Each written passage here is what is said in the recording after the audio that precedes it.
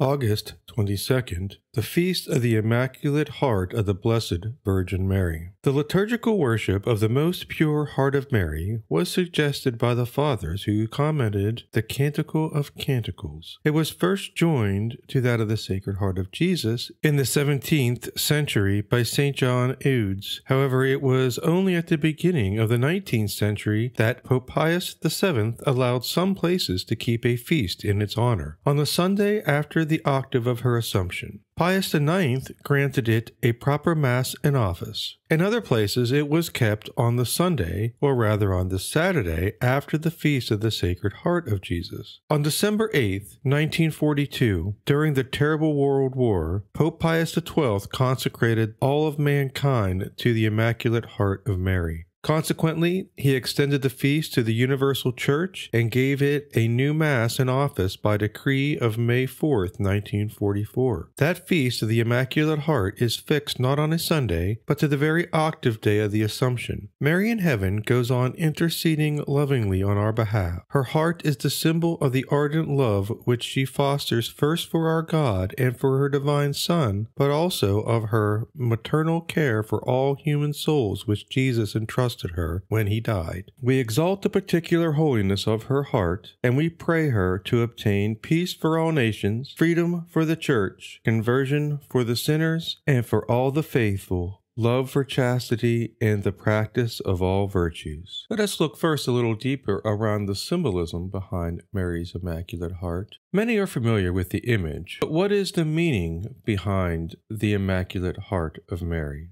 The image appears to be simple, but the symbolism behind it is complex. First of all, Mary's heart is visible outside of her body. This points to her undying love for all people. Her love is such that she cannot contain it within. Some artists choose to depict the Blessed Virgin carrying her heart in her hand or simply pointing with a finger to her heart. The gesture suggests that Mary wants to give her heart to the one who is viewing the image. Secondly, her heart is typically on fire, which emphasizes the intensity of her love for God and for humanity. Next, there are white roses that encircle her heart. These symbolize her purity, brought about by her immaculate conception, creating within her a most pure heart. In some cases, her heart is also shown with a lily coming out of the top, also symbolizing her purity. A single sword is sometimes added going through her heart, referring to the passage of Luke, A sword shall pierce thy heart, and brings to mind the sorrows she endured during her lifetime, especially during the crucifixion. Last of all, her heart is typically surrounded by rays of light. This brings to mind Revelation 12:1, where it describes the Blessed Virgin Mary as a woman clothed with the sun. Now that we understand the symbolism behind Mary's Immaculate Heart, heart, let's look at the true devotion and ultimate triumph of her Immaculate Heart. Historically, devotion to the heart of Mary can be traced to the 12th century with such writers as Saint Anselm and Saint Bernard of Clairvaux, who is considered one of the most influential writers in Marian devotion. Saint Bernardine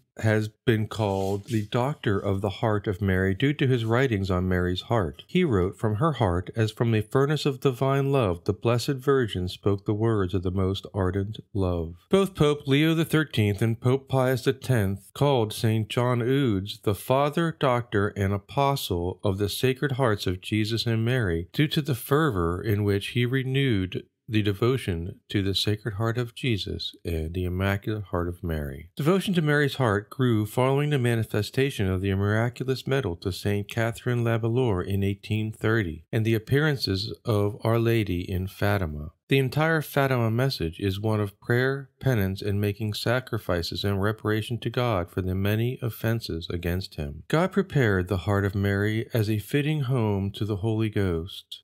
We ask Mary to help us, her spiritual children so dear to her heart, to stay ever united in friendship with her Son and never separate ourselves by sin. Lastly, we look forward to the triumph of Mary's Immaculate Heart. Our Lady at Fatima told us, In the end, my Immaculate Heart will triumph. But how? How will it triumph? Her heart will triumph by the action of her heart over the hearts of all rational creatures. The heart, as you know, is a physical organ that symbolizes the mentality of a person, the way a person sees and does all things. The Immaculate Heart of Mary is an expression of the most wise and pure mentality of Our Lady that, among other things, symbolizes her goodness, her incomparable sweetness, and her endless mercy. For these reasons, the angels and the saints of heaven love her intensely as much as it is proper to love someone other than God. The result of this love is such that she reigns over them. Her heart wields a power over their hearts. Her mentality exerts an influence over their mentality. Thus, when her reign over the good spreads throughout the world, we will have the triumph predicted in Fatima, this will be the victory of the royal, wise, immaculate heart of Mary.